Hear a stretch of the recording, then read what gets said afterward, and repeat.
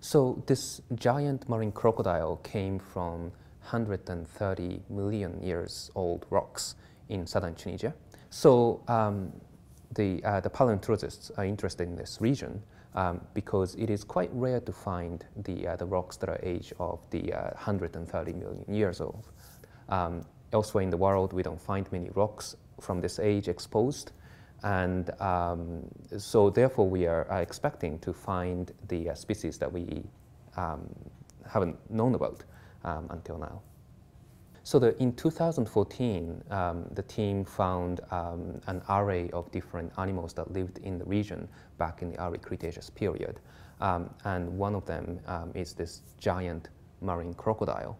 But also uh, we found other stuff like the, uh, the marine turtles, the, uh, the teeth of plant-eating dinosaurs, uh, large fish, sharks, and the remains of long-necked sauropod dinosaurs. So uh, this discovery is important in two ways. Uh, the first is that, um, of course, that this is uh, the largest crocodile that lived in the oceans back in the dinosaur age.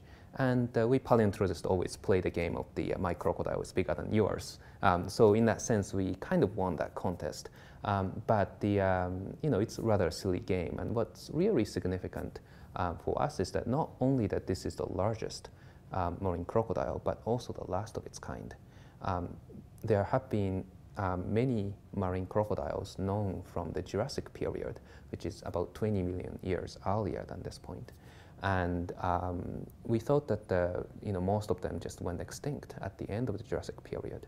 Now we have the, uh, the survivor long into the Cretaceous period, period um, the uh, almost 20 million years.